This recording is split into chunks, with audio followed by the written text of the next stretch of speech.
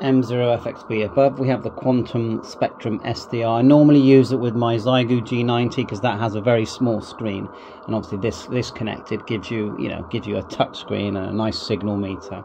But because the ICOM 7300 Mark II model has a, a, receive antenna but also an output from the receive, there's two small SMAs at the back, we can feed an SDR and the, the quantum spectrum is so perfect because this is not only uh, an interface for a radio like the G90, but it also can be a standalone receiver and it, it will allow uh, an, an, RF input. So we're stealing that from the Mark II. And it's very easy to, at the moment, they're actually both receiving uh, using the receive antenna. Because if you go press function in, I turn off the receive antenna.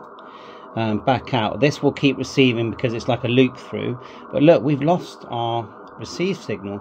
Now, if we connect our transmit antenna, you'll see we've we're now on the other antenna. So the Mark II is almost like a well, it is a dual antenna device.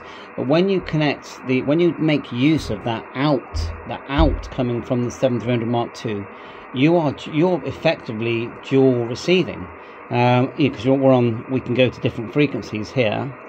Although it's really bad conditions tonight, normally it's way better than this. But anyway, out of band, lots of signals there.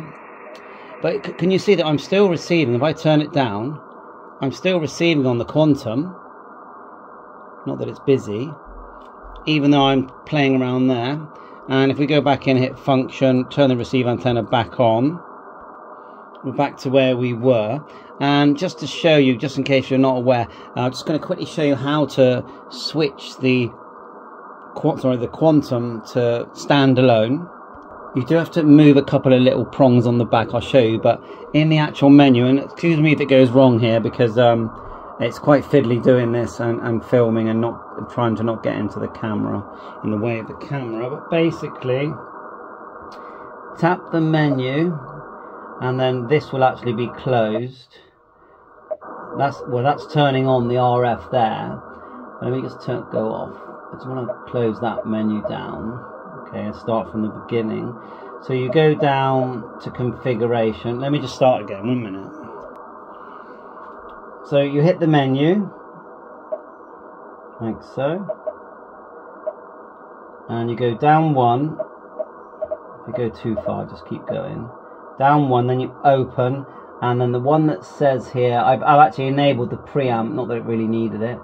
IF RF enable you have to that's on at the moment turn it off, you're effectively turning the RF antenna off that's going into this device. And then if you just turn it back on,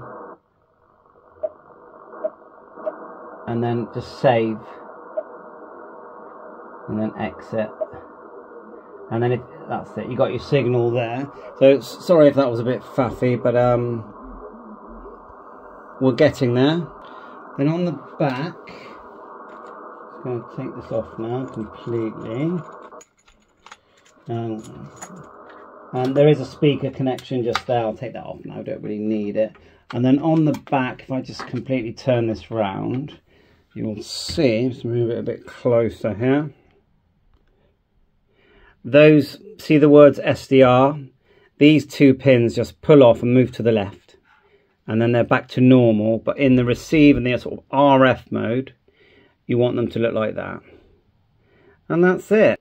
And on the back of the 7300, there's just two SMAs. The one that's nearest the big fan is the one that is the receive antenna. That's where my antenna is connected. To the, you know, this side, or the one that's furthest away from that is the one that's sending out the RF. I think it's great fun. Thanks for watching. Bye for now.